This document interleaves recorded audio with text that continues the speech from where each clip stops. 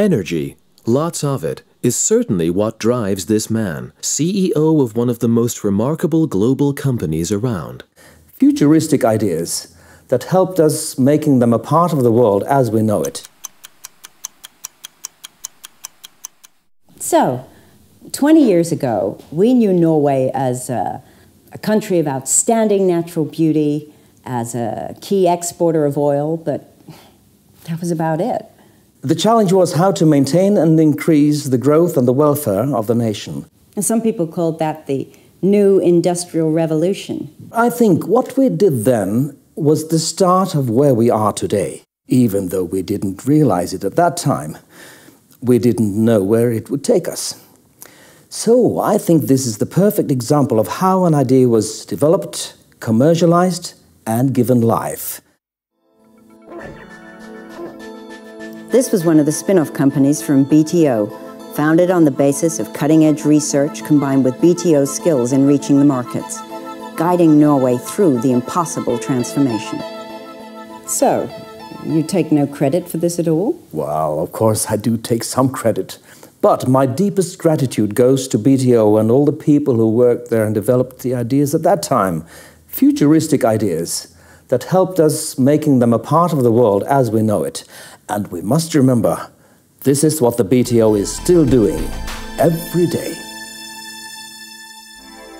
The Bergen Tech Transfer Office, BTO, is founded by the three largest research institutions in Bergen. The Bergen region has been a center of international trade for centuries. Our impressive abilities to adapt to new areas of trade has given us a competitive advantage. Today, the hot goods in international business are knowledge and information. In Bergen, there are about 4,000 researchers performing cutting-edge research worth nearly 4 billion kroner each year. This generates a lot of knowledge, knowledge used globally. Research transferred into products and services has created numerous jobs and changed the lives of many people all over the world. BTO work hard to nurture our startup companies so they can develop their products and reach success. Our goal is to negotiate fair deals for both inventors and research institutions. We also help investors identify startup companies in need of funding and in getting a suitable return on their investment. BTO handle all intellectual property, provide funding, establish company and license technology, file and protect patents, and offer legal advice. BTO knows business development. The challenge lies in choosing the most effective path. The BTO team consists of people with specialized knowledge within the different research disciplines, as well as market, funding, and legal expertise. We match the best suited employee with each project. Each year we start several new businesses and license a number of technologies.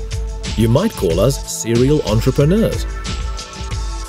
At BTO, we know that most of the world's great ideas have yet to be put into life. That's where we come in. We guide good ideas. At Haukeland University Hospital, Bergen, a biotech company has emerged from the research conducted by two bioscientists. BerGenBio is a growing company with new perspectives on life science and pharmaceutical technology. And BerGenBio uh, was uh, started based on a, on a new technology that we developed as part of our uh, interest in understanding the, the disease of cancer. So the pharmaceutical companies are interested in knowing exactly which proteins are the most important, and that's the information that we can provide with this technology. The lab work was, was conducted in its entirety here in, at the University of Bergen, uh, and we, through the, the, uh, the BTO, we were able to finance uh, the, the start of the commercialization process. Uh, BTO was an invaluable partner in this process.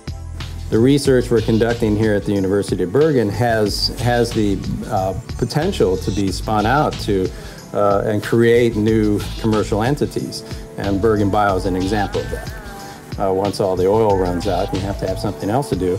You need to be need to be investing in a, a different type of natural resource, and that's the one in between your ears. So I think that's a very important uh, lesson that many countries have learned. I think that Norway is in a golden age now.